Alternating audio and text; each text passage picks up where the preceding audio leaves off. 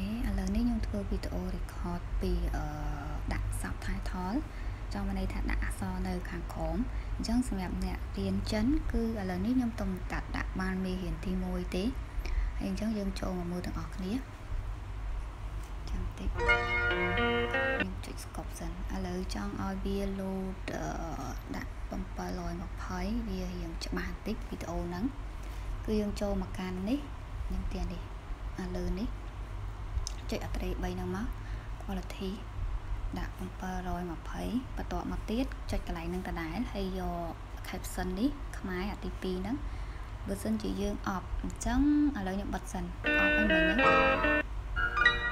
晚上好អូខេវាអត់欢迎អត់លោតអក្សរទេឥឡូវខ្ញុំបើកវិញ off ហើយចុចខ្មែរមកអញ្ចឹងវាលោត谢谢五您身体好吗 我很好你呢我也很អញ្ចឹងអ្នកទាំងអស់គ្នាបានឃើញហើយអញ្ចឹងវាស្រួលមើលតិចវាមានតាំងពីចិនខាងលើអង់គ្លេសហើយនិងខ្មែរព្រោះនៅក្នុងសភៅហ្នឹងវាបកតាមអង់គ្លេសអញ្ចឹងអ្នកខ្លះក៏អត់ចេះអង់គ្លេសអញ្ចឹងទៅអ្នកខ្លះក៏អត់ដឹងថាគេអានដល់ណាដល់ណីអីអញ្ចឹងទៅយើងអាចមើលតាមនឹងបានតាម subtitle ដែលខ្ញុំបានដាក់នៅខាងក្រោមហ្នឹង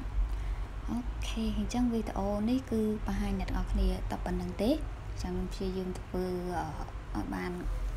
គ្រប់10មេរៀនដែលខ្ញុំ post ហ្នឹង bye bye